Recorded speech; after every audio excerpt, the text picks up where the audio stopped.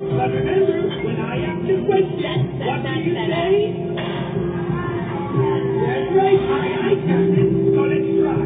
Are you ready, kids?